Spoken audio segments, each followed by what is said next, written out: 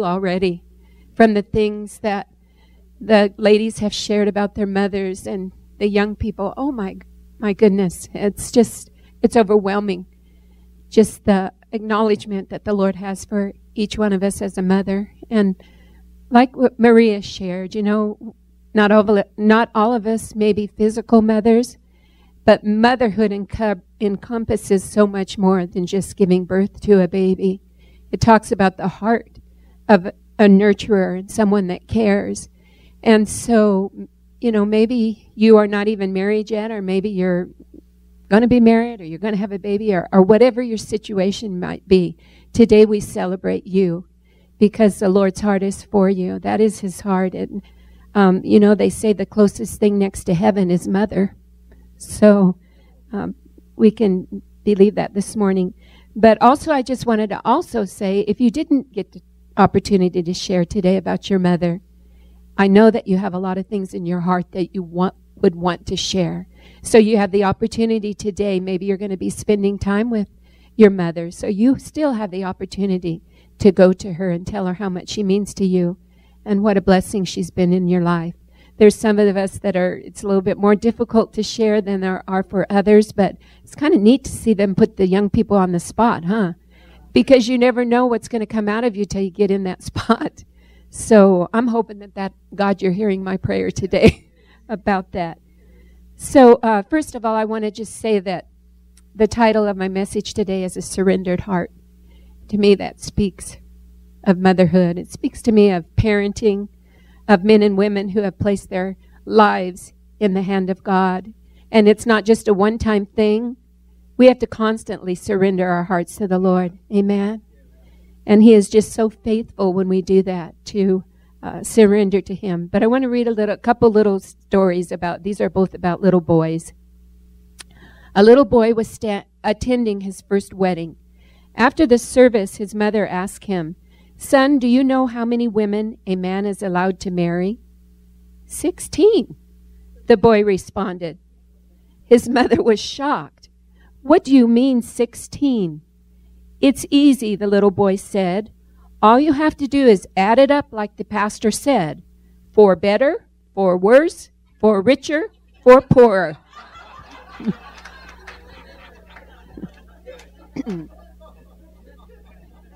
And then this little boy's story, too.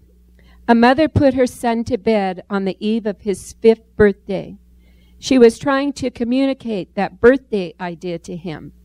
Kevin, she said, this is the last night of your fourth night. Do you understand that? Kevin was ready to communicate with his hands. For a full year, he had shown people four fingers for his four years and now he was ready to add a thumb. Seeing his four fingers, his mother nodded and said, When you go to sleep tonight, you'll still be four years old. But do you know how old you'll be in the morning when you wake up? Kevin nodded enthusiastically, added his thumb to his four little fingers, and said, Tomorrow I'll be a handful. So, for all the mothers who have had their hands full at one time or another, we celebrate you today on this special occasion of Mother's Day. Today we celebrate motherhood, not just physical, but those who nurture and care and have the qualities and spirit of the love that is displayed by the heart of God. Um, our verse today is found in Psalms 19:14. This is probably my favorite verse in the Bible, and it says, Let the words of my mouth and the meditation of my heart be acceptable in your sight, O Lord, my strength and my Redeemer.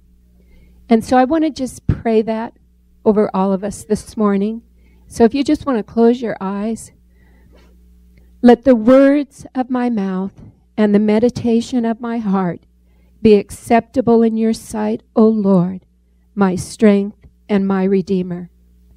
You know, there's a lot of pressure in the world today on motherhood. There's a lot of pressure on womanhood. There's a lot of things that are coming against us. And, you know, I would say, especially if you're a Christian, because we know in the Word that we're going to suffer persecution for the name's sake of the Lord. And so many times, as mothers who know the Lord and believers, we're not only bombarded by the things of society, of how you should dress, how you should look, how you should measure up, but a lot of times we're even ridiculed for our testimony and our life for the Lord. And when we take a different stand than what this world takes, a lot of times we become kind of the um, what it was uh, the the, the uh, detestables or whatever deplorables. But I just want to encourage you today that you're doing a good job. That God sees your heart and He sees your desire to pursue Him and to lift up that godly standard that needs to be presented in the world. And so um, today we're going to look at Mary, the mother of Jesus. And when I started to even look to the scriptures on this, I thought, you know, sometimes it's kind of intimidating to look at Mary's life because we know that Mary, um, in our eyes, I believe she was had that surrendered heart, and she was a good, good woman of the Lord, even though she was young. And so the scripture verse is found in Luke 1, and it's verses 26 to 38. And it, maybe we'll go ahead and stand. That way we can kind of shake ourselves a little bit. Maybe we're getting a little bit, I don't want anybody nodding off, especially me. but it's talking here about Christ's birth announced to Mary. And it says, Now in the sixth month, the angel Gabriel was sent by God to a city of Galilee named Nazareth, to a virgin betrothed to a man whose name was Joseph of the house of David. The virgin's name was Mary. And having come in, the angel said to her, Rejoice, highly favored one. The Lord is with you. Blessed are you among women. But when she saw him, she was troubled at his saying, and considered what manner of greeting this was. Then the angel said to her, do not be afraid, Mary, for you have found favor with God. And behold, you will conceive in your womb and bring forth a son, and shall call his name Jesus. He will be great, and will be called the Son of the Highest. And the Lord God will give him the throne of his father David, and he will reign over the house of Jacob forever, and of his kingdom there will be no end. Then Mary said to the angel, How can this be, since I do not know a man? And the angel answered and said to her, The Holy Spirit will come upon you, and the power of the highest will overshadow you. Therefore also, that Holy One who is to be born will be called the Son of God. Now indeed, Elizabeth, your relative, has also conceived a son in her old age, and this is now the sixth month for her who was called barren. For with God nothing will be impossible. Then Mary said, Behold, the maidservant of the Lord, let it be to me according to your word. Okay, you can be seated. But it speaks about finding favor. And the Lord, as we yield our lives to Him, He wants to display and He wants to pour out favor in our lives. He also wants to let us know that there's nothing impossible with Him. And as mothers, a lot of times things happen in our life or in the life of our children that almost seem an impossibility. But God wants to tell us today that we are continue to contend for what God wants to do in each one of our children's lives and contend knowing that nothing is impossible for God. So maybe your children aren't with you here today. Maybe your children aren't following the Lord. But the word of the Lord is encourage you today to keep praying, keep believing for them because nothing is impossible with God. So history tells us that Mary was young, she was poor, and of course she was a female. And in those days, it was even probably more unsuitable in the eyes of people that a woman could be used mightily by God and that God was going to use her. God was looking upon Mary's heart and her submission to the will of the Father. And the things that it took from her was that she really needed to be obedient to what the Lord was saying and trust that the Lord would fulfill his promise to her. And also that he would, in a sense, kind of straighten out the road that she was going to travel ahead. Because I, she knew that there were going to be, I mean, she wasn't married, even though she was betrothed to be married. She knew that there would be people that would talk disgracefully about her. She knew that there would be pain in her submitting to the Lord's will for this small child. I thought about um, because I'm probably because they had the scriptures and Mary knew the word of the Lord. I wonder how many other uh, you know young women at that time that knew God's word also wondered, could it be me that God would use? So Mary was very chosen, but yet she knew that that favor was because she was going to do something that would glorify God. It wasn't going to be about praise or worship to her, but it was going to be that Jesus would be born into the world and he would be the savior of all mankind. But she had to be obedient and she had to trust. She willingly surrendered to God's plan. And so today we always ask ourselves the same question Am I continuing to surrender to God's plan and will in my life? Am I willing, as younger women, as younger mothers, to take up the mantle that we heard sh- even sh- uh, that was shared today about our mo- the older mothers? Are we willing to pay the price, to pray, and to stand, and to believe, and to confess and profess that nothing is impossible with God? Can we uh, uh, rejoice in His plan for our lives even when things go, don't go the way that we hope they would, or we don't see things happening like we would like to see them, can we still rejoice knowing that God knows the end and we only see a small glimpse of this life and what God has ahead of us? In Luke 1 46 to 40, 55, there's one verse in there that says, My soul magnifies, it was Mary's song, and she said, My soul magnifies the Lord, and my spirit has rejoiced in God my Savior. This is actually almost um, the quote that Hannah in the Old Testament in Second Samuel quoted when she was presenting her prayer and her offering to the Lord. So that speaks to me that Mary knew the scriptures.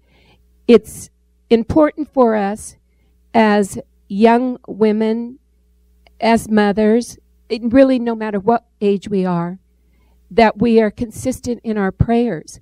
Because even when you feel like you don't have a whole lot to add and you're just agreeing in prayer, you're soaking in those things that God's word says. So Mary knew the scriptures and she was even proclaiming the things that Hannah had spoken. And so um, that's how we learn and how we become to know God's character is through his, his word. We need wisdom and direction to guide our families and our children. And for always, no matter what, uh, you know, where you're at, maybe like me, your grandmother now, but we need that wisdom and we need the direction of the Holy Spirit and we need the Word to be alive in our hearts and in our lives. But, you know, when you look at Mary's life too, um, Mary kind of had a little bit of setbacks or whatever. Uh, it's not as though she was perfect. God's not looking for perfect mothers, perfect women, but God is looking for surrendered hearts. And so um, I w- want to read just a. How many of you know who Dr. Ben Carson is? There's an excerpt from his book that I thought was so touching it and applies to us as mothers when we don't feel maybe we have insecurities. Maybe we don't feel like we really have everything together. And, um, you know, he's a renowned surgeon at John Hopkins, or he was at the time. But he tells a moving story about his mother. Mrs. Carson insisted that Ben and his brother Curtis write a book report every couple of weeks. This wasn't for school, this was for their mom.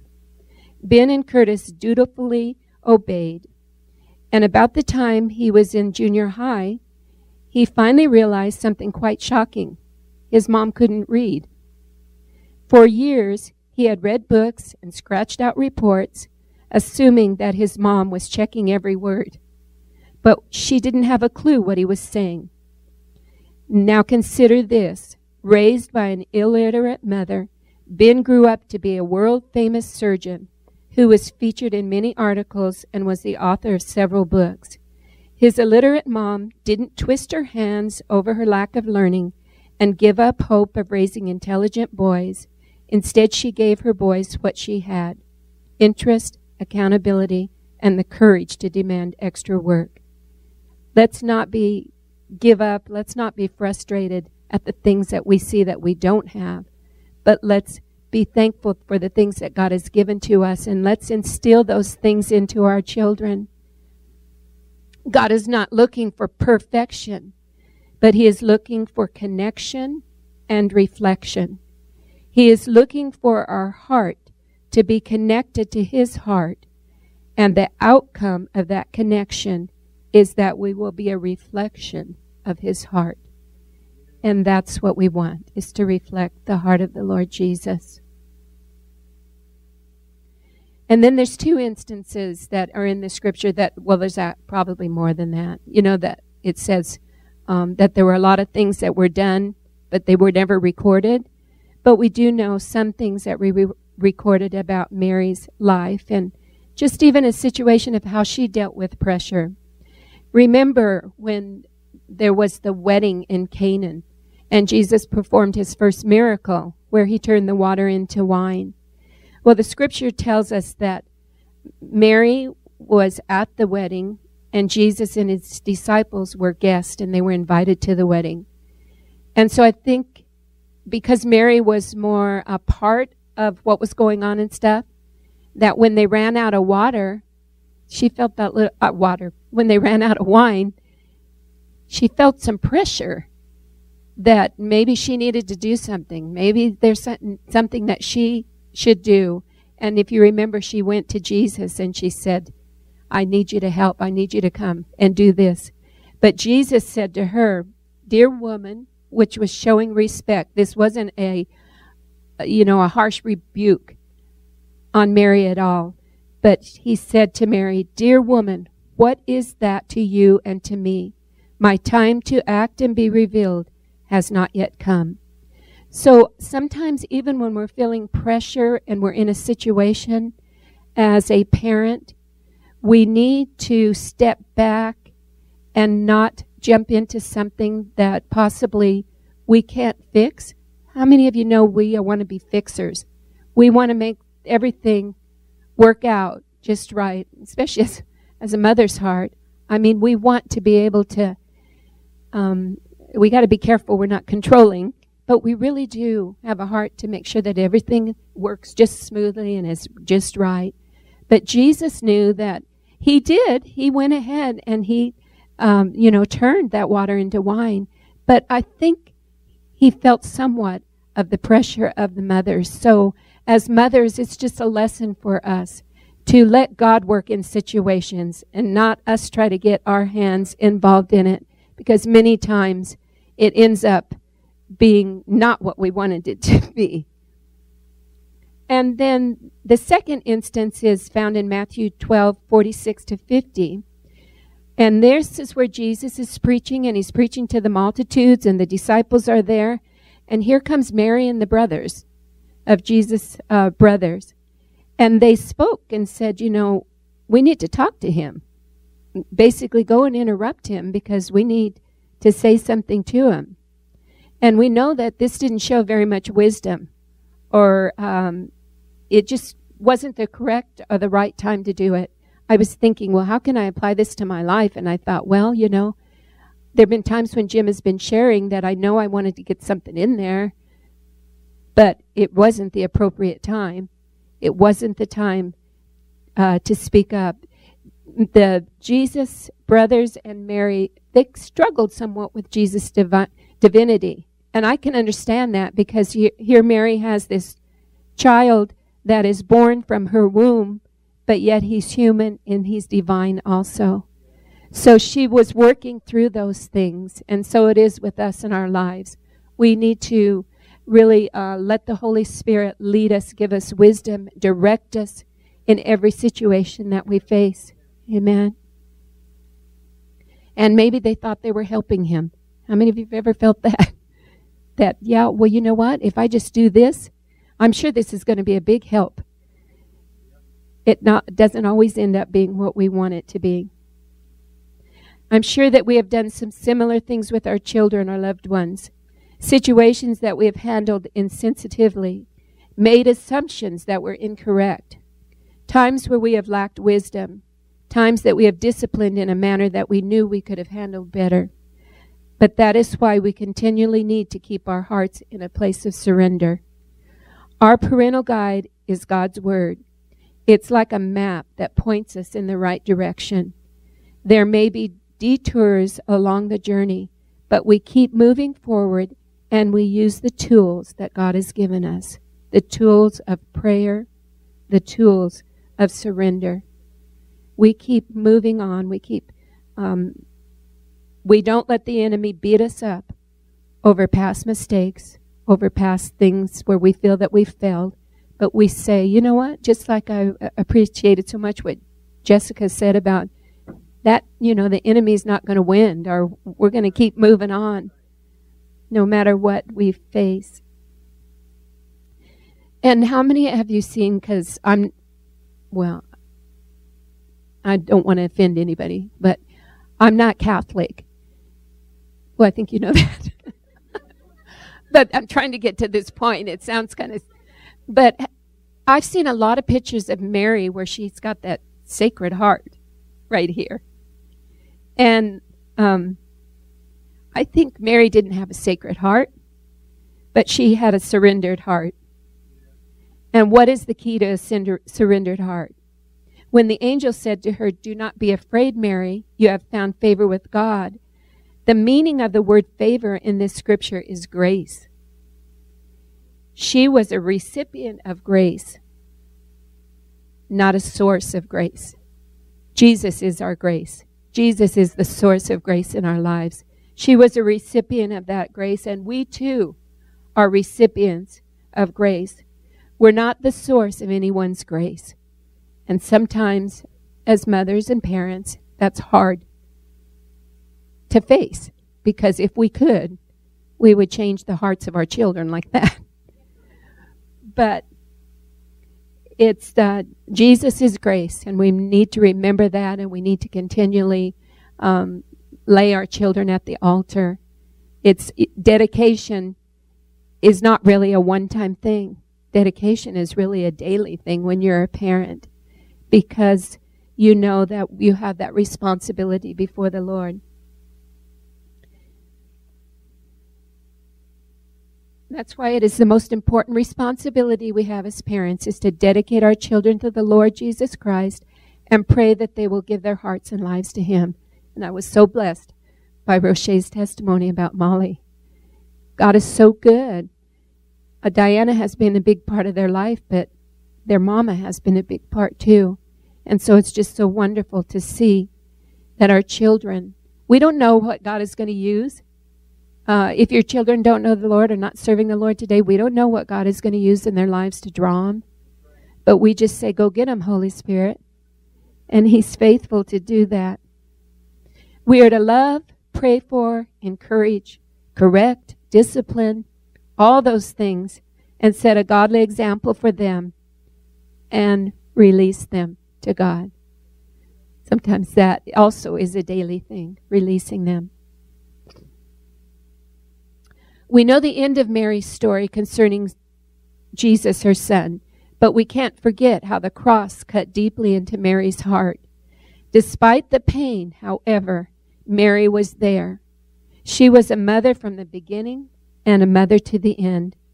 A mother called by God never relinquishes her title, even if her child is rebellious, harsh, or cruel. Her heart will just not allow it. When a godly woman becomes a mother, when a man becomes a father, there is an instant realization that the day will almost certainly come when pain dominates, dominates the picture. The crosses are different for every family, but frankly, the crosses usually come. There may be a divorce or disease or death. There may be harsh words and unacceptable actions. There may be tough love and impossible nights, but through it all, mothers called and obedient to God never relinquish the title. There is nothing like a mother's love. So, in conclusion, I just want to read this cute little thing from um, Family Circus. It says The children of Family Circus were once discussing babies. One of the young experts announced, Storks don't bring babies, they come UPS. Some of the other children had different ideas, but the best was saved for last.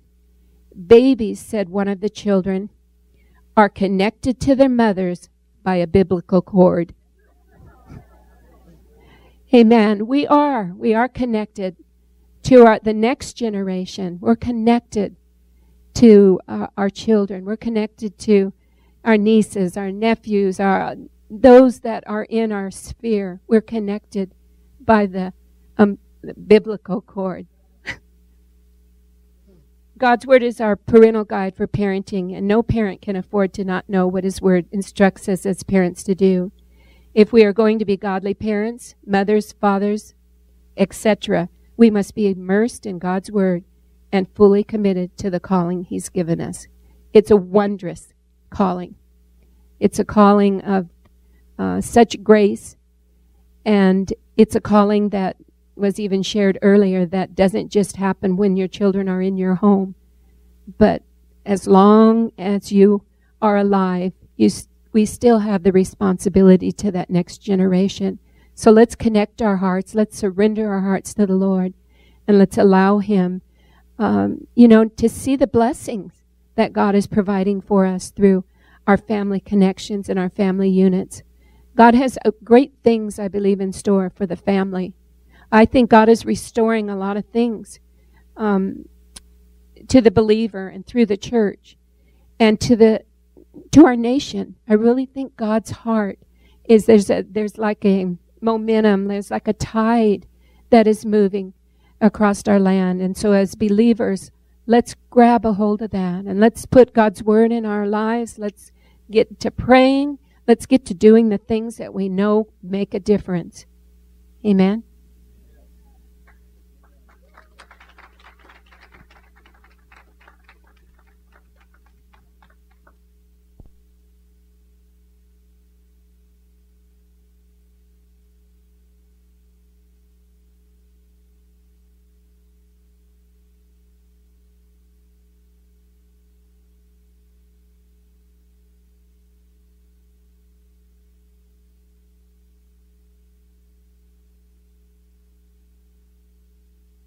To hear that wonderful heart and wisdom all the time.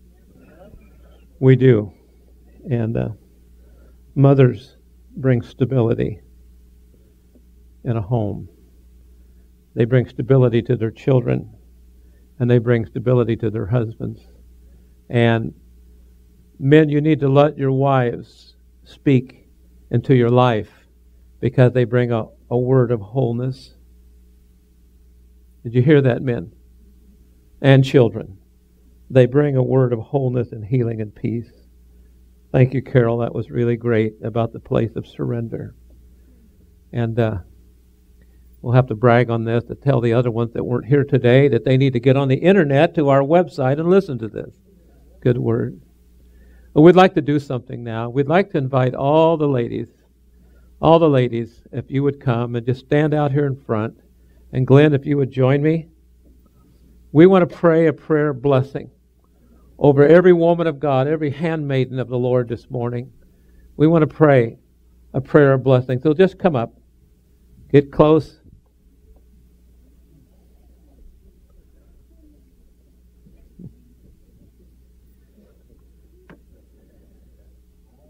And I want to remind you to go back and see Susan, because Susan has something to give you. So, Susan, you should probably be back there. So. You can get back there. Come on, all the ladies. Do we have ladies in the nursery today? Are there children in the nursery today? Oh, they're doing what mothers do. How do you think men would do in the nursery? Help! we'd have that we would have that number on the screen, that help number, what is it, 77 or something? Hallelujah. Hallelujah, Lord.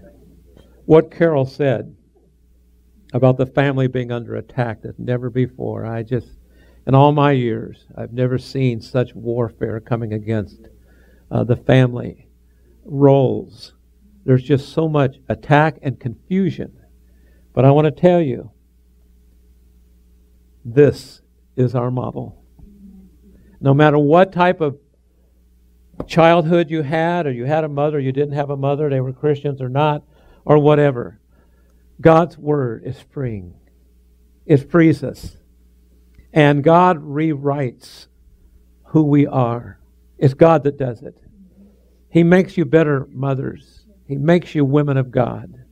He makes everything He has in His original plan. When God said, I would take a woman out of the sight of man and make her her own unique person. Listen, God has, has everything you need, ladies to continue, continue to be a woman of God. And I want to say this, I say this every year, that it, it, it's this. You don't have to be a physical, uh, uh, give birth to a child to be a mother. Because God has given into you, my sisters, the DNA to nurture and to love and to care. That's in you. God has put that in you. And so today, we thank the Lord Jesus for you. We thank God for you. We thank what Carol said today, even Mary had to go through a lot of setbacks. One of them I thought of was when she was prophesied by, uh, I believe it was Simeon, when uh, Jesus was dedicated, he said, A sword will pierce your soul. And I'm sure for 33 and a half years she wondered what that meant. Well, that sword was seeing her son die on the cross. But there's swords that pierce our soul of the things that happen in life. But I want you to know that the grace that Carol talked about is not in a human being. It's the grace is in our Lord Jesus Christ. Amen. So we just want to pray a prayer of blessing over you today. And I want to say this thank you for who you are. Thank you for being the women of God that you are. Thanks for loving and caring and sharing and correcting and long suffering and patience and enduring. And thank you because it means so much. Men, is this true? Come on, guys. So as, I, as Glenn and I are praying together, I'd like for you to stretch out your In fact, come closer. Come up. I want you guys to come up closer. Ladies, can you come closer? I want the men to be behind you. Come, just get behind these ladies. Just get closer, if you would. Ethan, that means you too. Come on, this is your mother and your grandmother up here. Your sisters in the Lord. Come on, just stand up here closer. We are blessed. Men, we are blessed because of our moms, but because we are surrounded with godly examples. Father, we speak a blessing now over every woman of God that's represented here, from the youngest to the oldest. Lord, we speak a blessing now in Jesus' name. And Lord, that grace that we heard about this morning, we just say, more grace, women of God. More grace, women of God. More grace, women of God. And Lord, we pray a blessing over their physical bodies now. Some of them in this, this line, God, are physically suffering with a lot of things. God, we're praying for your healing touch right now. We speak the name of Jesus to the physical ailments of our body. We pray in Jesus' name for healing we claim healing. We believe healing. God, if we heard the scripture that was read this morning of what the angel said, for nothing shall be impossible with God. We pray for healing right now. We pray, God, for their spirits to become alive. That every one of them, uh, every one of these women would know how greatly they are loved, how greatly they are loved in heaven, and how greatly, Lord, that they are loved even on this earth by even those that are around them. God, we pray, let the revelation of your love be upon every sister here now in Jesus' name. And God, if there's any uh, sense of guilt or shame or confusion, we say in the name of Jesus, be free of that. Be free. You're not a prisoner of your past. You're not a prisoner of your past. Be free and be at peace in the name of Jesus. Know that in heaven that the Lord knows you, he knows your name. And I want to I, I want to tell you, lady, this was just in my heart this morning. I felt God put it there.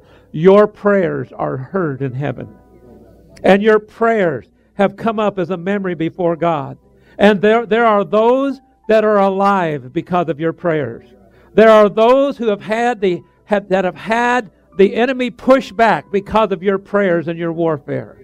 There are those that have learned about the Father's heart because of your love and your long suffering and your gentleness and your forgiveness. Because of your heart, God has been able to make himself known to your children and your grandchildren and your great grandchildren and even beyond. Generations will be touched because of you touching heaven.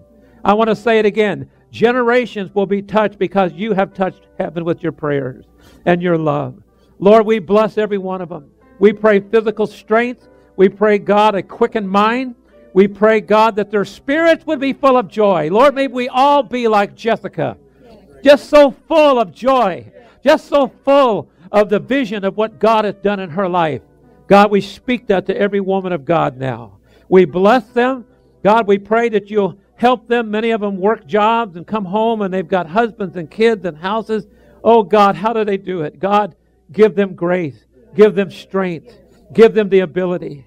And God, I pray, and we pray together, that, Lord, that the revelation of the cross would always be before them. Because it is with the cross that we find that we are being changed from glory to glory. Hallelujah. From strength to strength. Victory we speak over them now. The handmaidens of the Lord. Victory now. Filled with the Spirit. Filled with the Word of God and they will not be intimidated by no one because the Lord their God lives within them and He is for them. If God be for them, who can be against them?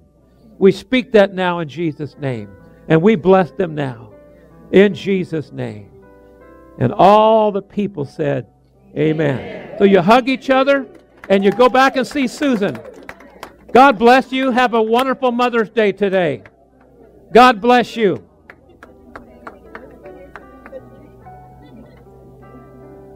Amen. We'll see everybody next